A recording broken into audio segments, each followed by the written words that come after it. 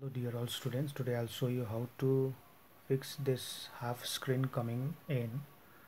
This vlc media player.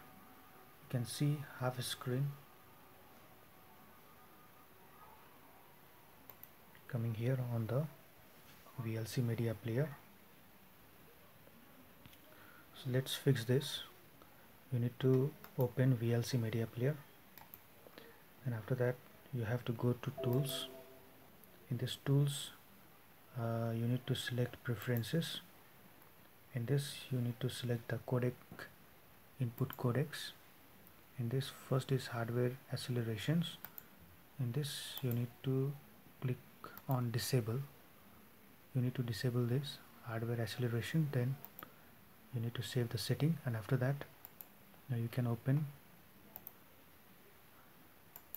movie any video using the VLC media player now the screen is gone you can see here